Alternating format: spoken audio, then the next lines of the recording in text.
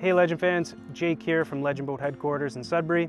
Today we're going to be going over how to properly install and remove your transom saver. Along the way we're going to cover a couple key benefits as to why owning one of these is important. So step one is going to be installing the transom saver bracket. All you need to do for this is locate the bolt in the center of the back of the frame. Underneath is going to be a nut, it's a 9 16 and you need a wrench and a socket. Remove that nut you're gonna install your transom saver bracket and then retighten that nut. So step two is gonna be putting the transom saver into the bracket. So what we're gonna do is you're gonna place it upside down, you're gonna put it into the bracket here, and you're gonna twist it counterclockwise.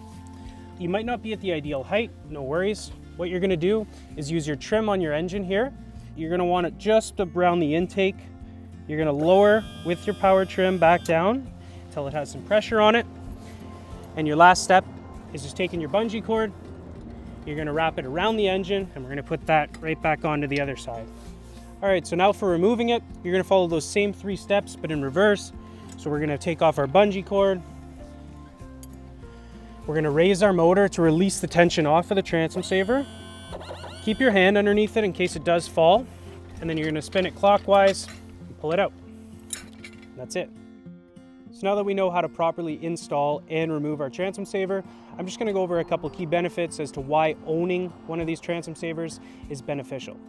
So the first one and the main one is it does remove all the stress on your transom when trailering. So those motors are very heavy. This little bar can actually remove quite a bit of weight from your transom for that peace of mind, a little bit longer lasting life. The second thing would be for, uh, well, I don't know about you guys, but our roads up here in Sudbury, when I'm trailing my boat, I don't want that motor bouncing like my vehicle does. So this little bar can actually stop your, uh, your motor from bouncing quite a bit. Hope you guys find this video helpful. Check us out and we'll see you out on the water.